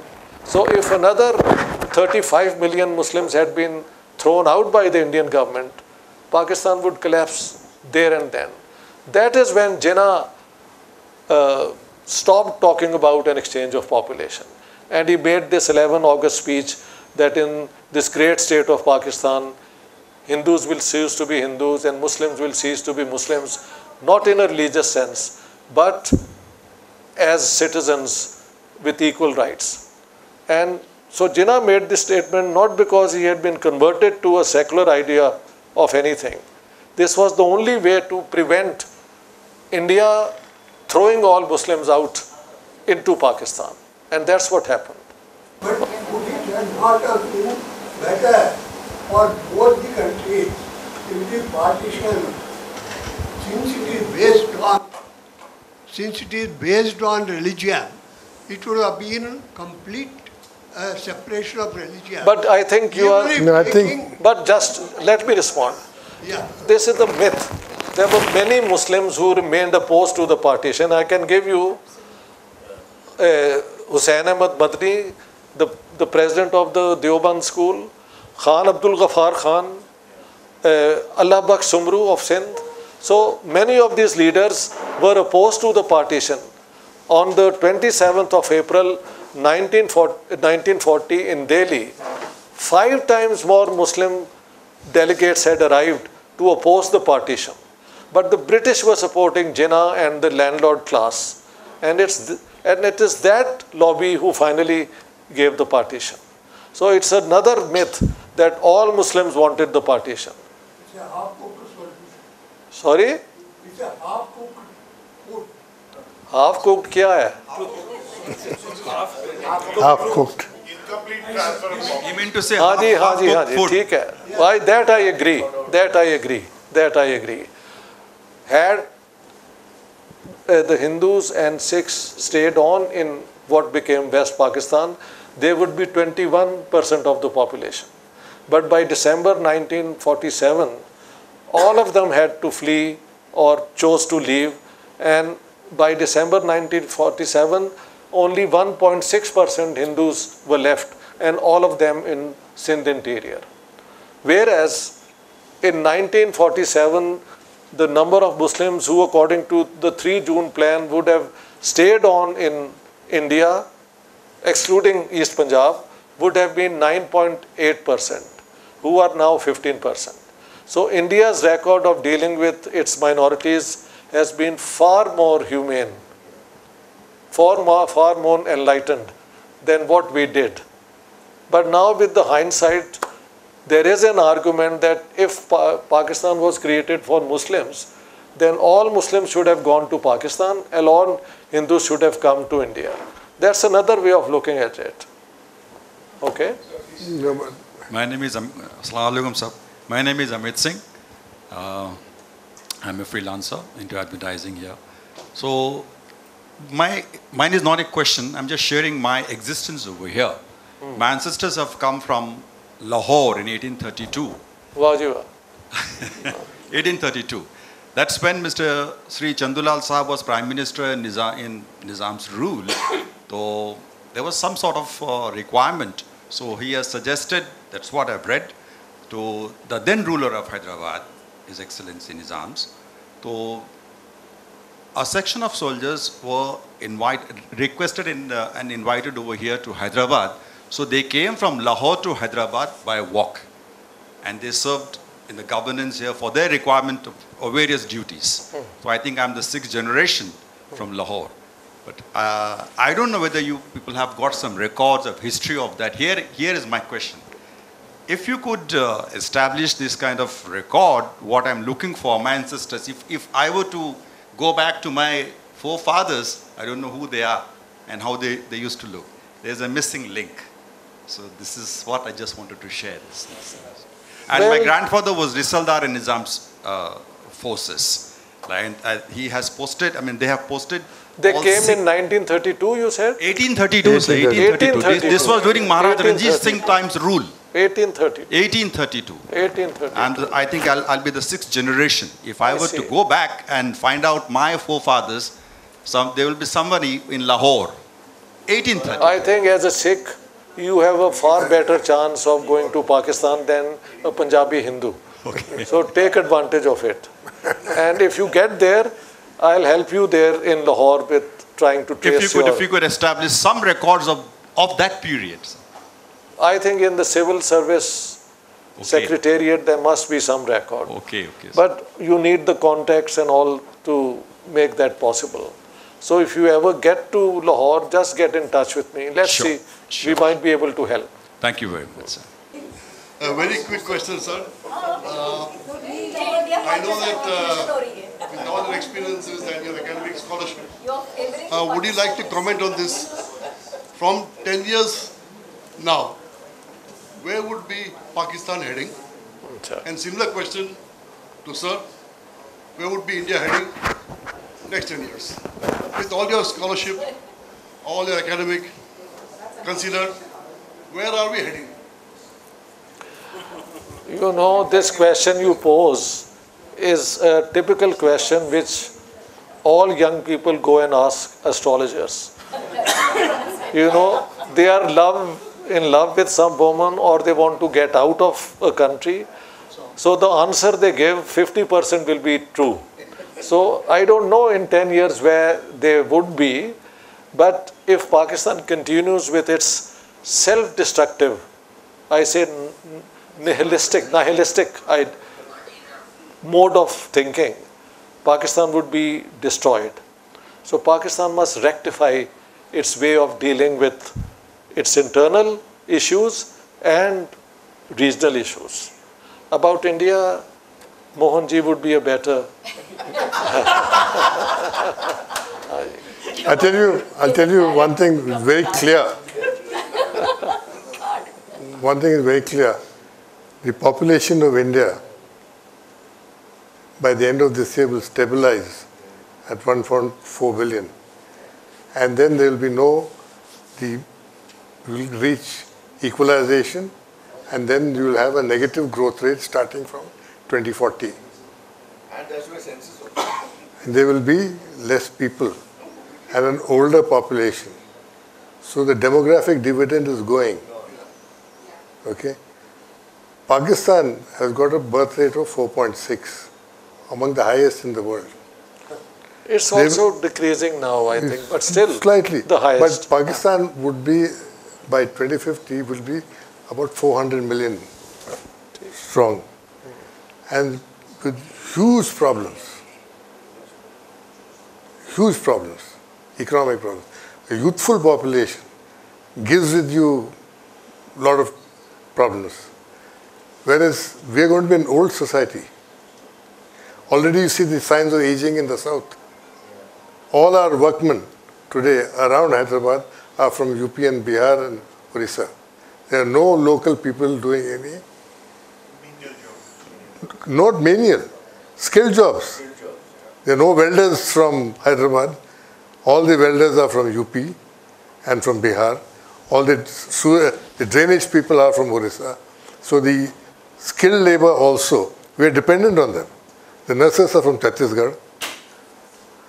So that will start. Now you can't have 500 million people sitting in one country under primitive conditions, with primitive thoughts, with something not happening, spilling across. So there are future dangers coming up. And it would be in our interest to start looking at Pakistan's economic well-being. When the Pakistan wanted 1.2 billion dollars from the IMF this time, and they were begging and crawling. It was, that was the time for India to say, okay, here's 1.2 billion. We gave Sri Lanka 7 billion. No, uh, let me intervene here, sir. There was a, a flood disaster, and uh, they said we'll take aid from everyone but India. So Pakistan closes its Men- own doors on India mentality all the time. That's the problem. No, Sri That's Lanka, the problem. Sri Lanka, hmm. we saw it all coming. Four years ago, five years ago, there was a conference in Colombo where I was also invited. And I said, you know, the, what is going to happen is written in your economics. Yeah. Your, your outflows are so great. So then they said, what will happen to us? So I said, जब कोई तुम्हारा हृदय तोड़ दे तब मेरे पास आना प्रिय you know so I think a time will come for Pakistan when the back is broken, the heart is broken, they'll have to come to us. And we have also in our interest got to sort out their, some of their problems. Abhi, uh, the northern plains are water scarcity areas. They're all dependent on the aquifers. And both India and Pakistan are running down the aquifers without ground groundwater mapping because the armies on both sides say ki inko don't let them map. So I think we'll have to start cooperating at different places. There are issues of common. Pakistan will have a bigger problem because the Indus basin is drying up and the glaciers are melting. That's why they're having floods We will have, we are dependent on the monsoons, and for as long as the monsoons is- are holding, we will have rainfall. But by 2050, 2060, we will also start drying up. So we need to start talking. Agar, you know, but at this moment, the mood in both countries is कि पाकिस्तान को cricket match में हरा दी है तो you no country goes into paroxysm छुट्टी हो जाता है but I think we need to settle down and get some good sense going. Yes, ma'am. Yeah. Yes. I am Jasmeen Jayrat Uh, मैं uh, अमृतसर डिस्ट्रिक्ट को belong करती हूँ वाह जी वाह तो बचपन मेरा पंजाब में ही गुजरा है and gone through the whole of course I am a post partition person I have about two three issues just a comment कि कुछ ज़िक्र हुआ था इस महफिल में कि जनून का कि सनातन का जनून नहीं है वो तो हम आजकल अपने देश में बहुत देख रहे हैं। और क्योंकि मुस्लिम्स की जो फैक्ट बेस्ड लिंचिंग हो रही है ऑल थ्रू ऑन रिकॉर्ड और वो ये सनातन के जनून से ही हो रही है। But my one question is कि जब हम हिंदू रेफर करते हैं and also to you sir what do we understand by Hindu because this is a very broad term and whether you are referring to Sanatan Arya Samaj और Brahmins और or Dalits, or intercaste, or Charvakyas, or what you have. So I don't know what, what that means. So I think uh, the issue that has to be raised, so that will determine the political support for, well, anti-Muslim, Muslim, or whatever. But on that issue, it is pertinent. That it's not one flat generic term दूसरी बात है जिना साहब के बारे में ही was personally as a personality he was not a practicing Muslim, a religious Muslim, a communal minded person. There was a point at which he was very much for United India and all. He was a part of the Congress, etc., that you've mentioned. And what made him turn into that kind of a political Muslim and then led on to all the things that you mentioned.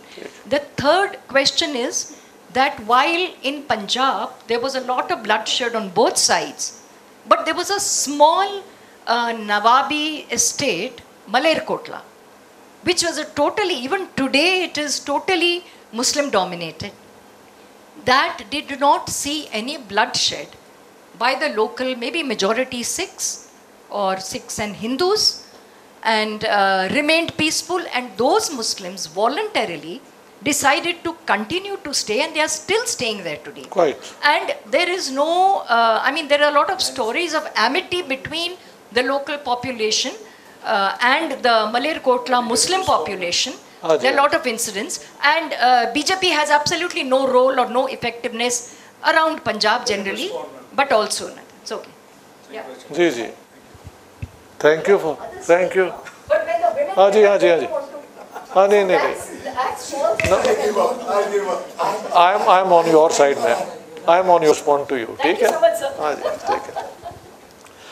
First of all, who is a Hindu, who is not a Hindu, not for me to decide. Uh, a Hindu is one who says, I am a Hindu, that's all.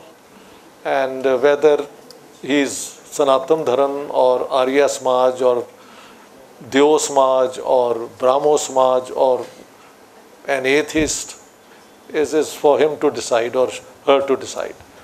Second was your question about Punjab. Uh, Jinnah. No, I, I say that uh, Jinnah's so called uh, secular character is in his dietary habits. He used to have a ham sandwich and a regular drink all the time. Haji? So I've said uh, if food habits determine the ideology of a person, then Hitler was a vegetarian, by the way. So, how do you explain all the bloodshed that he caused in the world? So, I don't think personal food preferences are very important to determine, determine the politics of a person. Jinnah, Jinnah, Jinnah was used Islam instrumentally. There was no commitment on his part. I know it for a fact that he didn't even know the proper kalama. And 1936, when he came to Lahore and was taken to the Badshahi Mosque for the Friday prayers, uh, as he entered, he was going in with his shoes and he was told, please, this can't be done. But before going there, Maulana Abdul Hamid Badayuni had told him the Hanafi way of how the prayers are done without knowing the prayers at all. And this is what he did. But one thing uh, Badayuni had forgot to tell him was that at the end of it, when the Imam Sahib who's leading the prayer says, Assalamu alaikum, wa rahmatullah, and then he says assalamu alaikum wa rahmatullah on this side. When he said assalamu alaikum, Jinnah Sahib said wa alaikum assalam. तो ये है जिना साहब का इस्लाम। उन्होंने अपनी सियासत के लिए इसे इस्तेमाल किया है। And he got away with it because the British finally decided for partition so the final decision rest with the British the demand for partition is by Jinnah the demand for the partition of Punjab is by the Sikh leadership and Hindu Mahasabha Bengal so that's how you have to see who did what The final question was what? Ah, Malerkotla, you know, in my book, uh, The Punjab Bloodied, Partitioned and Cleansed, although I got a grant for three years, I kept on working on it for 11 years to complete the whole thing. And I interviewed people, about 400 of them, of which 262 interviews are reported. But then you have gone to the government of Tribune and Pakistan Times, you know, these newspapers. So all the record is there. I also went to Malerkotla and met the Muslims there.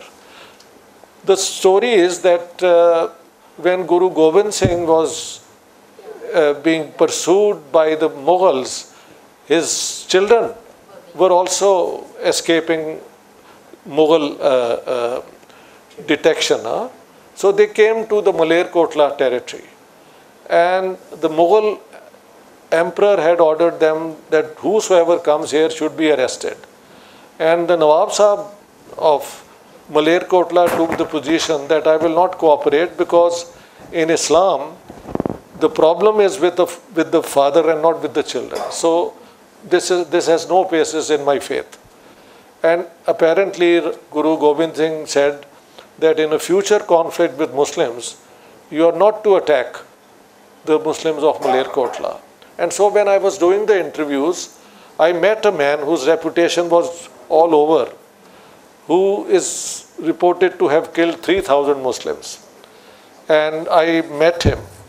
And he had two names, sometimes Ranjit Singh, sometimes Amit Singh or some whatever. And this is what he said to me in Punjabi.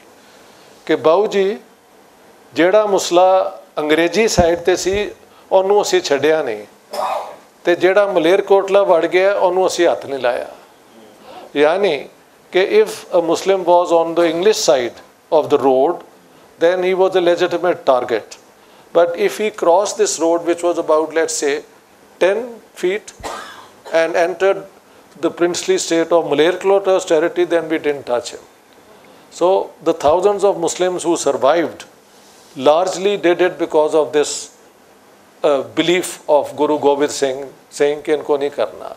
But there is another factor also which I mention in the book. Two factors. So I've responded to your question. But please get my book. The latest edition is by, in, in this I've included four poems as well. Amrita Pritam, Gulzar Saab, then Faiz Saab, and I think the greatest poem on the partition not very often mentioned, actually not mentioned at all, is by Sahir Ludhianvi. Sahir Ludhianvi. Ah, it's called Mufahamat. Mufahamat means the compromise. And the compromise is that we all came out fighting for the freedom of India, but in order to be free, we had to agree to the division of, of, of, of people as well. So all these poems are there. Haji? Haji. Thank you, thank you, sir. Uh, so my name is Sanjay, I'm a management consultant. Uh, my question is actually getting back to two of your books, and one of them has been answered thanks to uh, yeah. uh, Jasween in her second question, where I was also curious as to what was the issue that actually made uh, Jinnah turn around and uh, become uh, such a, uh, which you actually partially answered. So my, my version of looking at that question was that was there, was there an angst that Jinnah of having been marginalized by Gandhi. Yes, yes, yes. If you of read course. my book, yeah. my main argument is. Nehru was his, uh, his because I think Gandhi pushed Nehru instead of Jinnah in the entire process. No, but no, Jinnah left the Congress, so he Gandhi could not have pushed Jinnah. Okay. Although in 1946, on the 6th of April 1947, Gandhi ji proposed to the cabinet mission plan through Major Wyatt, who was one of the interlocutors, that Make Jinnah, Jinnah Sahib can become the Prime Minister and he can even choose the cabinet. But in the Gandhi film, it's shown that when this was told to Nehru and Patel, they didn't like it. But the actual fact is that this was conveyed to Lord Wavell, who was the viceroy, and he overruled it. He said that under the 1935 Act, real power is vested in the Governor General, so there can't be a Prime Minister. So this is not mentioned in either Pakistani research or Indian research because blaming the British for this would be too much because then the grants to go to Oxford and Cambridge would dry up. Yeah, exactly. Ah. So finally, it is again imperialism which is actually allowing ah. competition. So वो खराबी हम के अंदर है मौलाना मोहम्मद अली जौहर ने कहा था कि we divide and you rule तो ये है हकीकत हाँ जी हाँ जी So actually, then looking at the second part of the question, in which you mentioned about uh, how the Israeli, uh, as well as the the the the, uh, the you know the uh, the racism comes and the imperialism comes in for the decision making. Yeah. So the whole story actually started from East India Company itself, Absolutely. and uh, the entire process of even proselytizing as well as writing history their way to actually create these impressions and uh, and, and the uh, the schisms that have subsequently got uh, magnified was a part of the larger game plan that these guys always had for uh, for for actually uh, for perpetual colonization. As I said, in 1943, while the Second World War was going on, the decision was that till 1973 we are here to stay. This is Lord Linlithgow telling Lord Wavell, and I've quoted that. So they had no intention of giving up India. All the hunting and all the, you know, thing. This was the crown colony. Yeah, yeah, absolutely. So that would essentially mean that the Americans are continuing the story now. Yeah, yeah, of it. course, of course, of course. The balkanization of the country. That's right. One last question. I just want to project into the future, not the past. No, it doesn't matter. So few are there. I feel, as you had also said, you also said, it is the geopolitical and economic, reasons which has created all this problem. Not only for us, but also two other major partitions we have seen in the world recent times, Germany and Vietnam. And both the countries got united, overruled the West, overruled everybody else, and they are now very, very good economically and of course politically. Unless perhaps India and Pakistan realize, as Mr. Goswami said, in their interest and maybe a push from the West comes because China is now perceived as a common enemy and if they also made to understand that this country, these two countries are united, then it will be much better for the entire region. I think we have to do it in two stages. Do you First, think anything Ji. like this will happen at all? The SAARC framework is excellent to begin with, and once the trust is built, then maybe the borders can also be abolished. But one can't go from a divided subcontinent suddenly to everybody uniting in one go. So this will have to be a process which would be voluntary and which would be based on some sort of rational calculation and trust. So it's a hundred years project, I think, not immediate project. Immediately, we want the end to the confrontation between India and Pakistan. The trade should be revived, and people should 65 above have the right to travel, visa f- easy uh, sort of things. So we have to start on a modest level, and let's hope finally this sort of thing happens. ठीक है जी? Ameen, Ameen. Thank you very much, uh, Dr. Ishtiaq Ahmed and Mohan, for this brilliant, intellectually stimulating talk. And I must thank all of you, the audience, for taking the time out on a working day, uh, battling through the Hyderabad traffic, and staying and asking intelligent, pertinent questions, which I think have taxed so- both our speakers also. Thank you very much. And uh, if you would like to subscribe to the Guruswamy Center uh, event uh, group, uh, Mr. Datta Prasad is there. Please give him your email ID or phone number for WhatsApp group. You will be kept updated for about all the programs that are held at the center. Yes, these are all available on Amazon. Uh, uh, just a light-hearted aside here. Uh, Dr. Ahmed has talked about three of his books about the book on Punjab, about the book on Jinnah, about the book on the Pakistan, the garrison state. What he has not talked about is that he has written a fourth book, which is on the contribution of pre partition Punjab to Indian cinema. And by the way, he's an excellent singer. uh, whose music was composed by Hyderabadi, Abdur Rauf Usmania. And this was the, for the film Tofa, 1945, uh, rendered by Mukesh ji. And the lyrics of the ghazal are by Saqib Lakhnavi. हाँ जी सो इतना बुला के अगर आप गाने का कह रहे हैं तो मुझे नहीं पता if I manage but the little I can ठीक है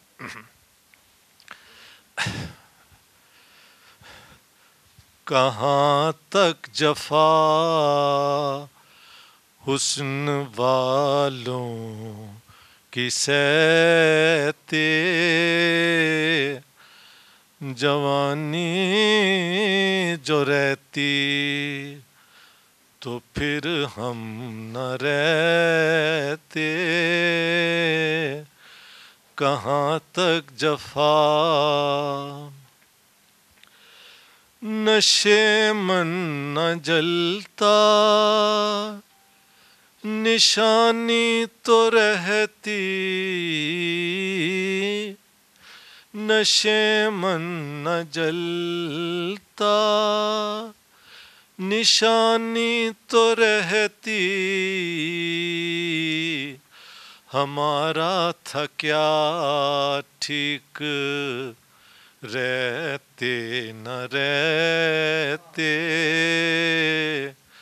हमारा था क्या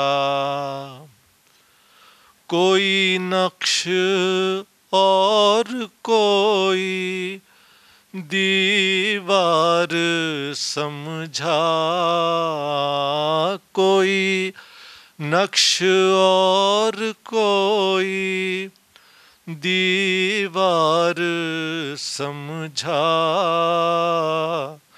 जमाना हुआ हमको, चुप रहते रहते। जमाना हुआ, जमाना बड़े शौक से सुन रहा था।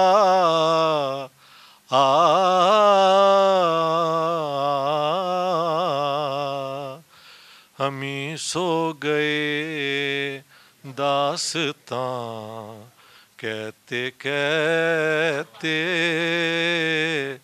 कहाँ तक जफा हुस्न वालों की सहते, जवानी जो रहती तो फिर हम न रहते। आपको गाना भी हैदराबाद का जैनविन सुना दिया है। ये सारी कॉम्पोजिशन भैरवी राग के अंदर है और अब्दुल रऊफ उस्मानिया ने सिर्फ़ दो फ़िल्मों में ये गाने किए हैं। और मैं समझता हूँ मुकेश साहब के बड़ी रेंडिंग में से एक ये है। और ये सबसे पहले मैंने 1972 में when I went to teach at Gordon college Rawalpindi वहाँ एक महफिल में सुना था। तो you know beauty created anywhere is always universal तो रावलपिंडी हो कहीं हो इस किस्म की चीज़ें चलती रहती हैं। ठीक है जी? बहुत बहुत शुक्रिया आपका। हाँ ये उस्तादों का शेर है। बहुत बड़ा शेर है। साकिब लखनवी साहब का। वाह जी वाह वाह जी। मैंने कहा हैदराबाद की। अच्छा। यही वाली? वाह यार।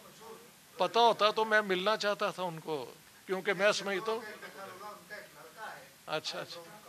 अच्छा। अच्छा अच्छा अच्छा चले। दो लाइन हमारे दखनी के बोल के सुना दो साहब ने जो हमारे पास ढोलक के गीत हुआ करते थे। वाह जी वाह। माता जी गाते थे और मैं ढोलक बजाता वाह वाह वाह। वो है हमारी हैदराबादी लफ्ज में साहब। और वो गाना है हम बहुत वेट करते थे सुनने के लिए इस चीज़ को। समदन खो गई माँ, चार मीनार के सड़क को इधर देखो, उधर देखो, चार मीनार की गलियाँ। अरे इधर देखो, उधर देखो ठिपिक ठिपिक ठिपिक ठिपिक ढोलक बज रही। इधर देखो, उधर देखो, चार मीनार की गलियाँ। समदन मिल गई माँ। चूड़िया वालों की दुकान पे समदन मिल गई माँ। चार मीनार के सड़क पे। और आगे के वर्ड्स याद नहीं है मुझे। बहरहाल ये इसमें चार पाँच ऐसे और अच्छे हैं। पंजाबी। इरशाद, इरशाद, इरशाद। वो थोड़े से शेर ही सुनाता हूँ आज ये मेरी मदर को बड़ा पसंद था। और मैं समझता हूँ कि नूर जहान के बड़े गानों में से एक है और उन्होंने बहुत बहुत बड़े गाने गाए हैं। तो ये है। कली कली जान, दुख लखते करोड़ वे। दूर जान वाले आ ਕਰਾਂ ਹੁਣ ਮੋੜ ਵੇ। ਕੱਲੀ ਕੱਲੀ ਜਾਨ ਦੁੱਖ, ਚੰਨਾ ਤੇਰੀ ਯਾਦ ਨਾਲ ਦੁੱਖ ਅਸਾਂ ਫੋਲਿਆ। ਦੁੱਖ ਅਸਾਂ ਫੋਲਿਆ। ਹੌਲੀ ਹੌਲੀ ਹੰਝੂਆਂ ਦਾ ਬੁਆਜ ਖੋਲਿਆ। ਬੁਆਜ ਖੋਲਿਆ। ਵੈਰੀ ਹੋਇਆ ਜਗ ਮੇਰਾ, ਤੇਰੀ ਅਜ ਲੋੜ ਵੇ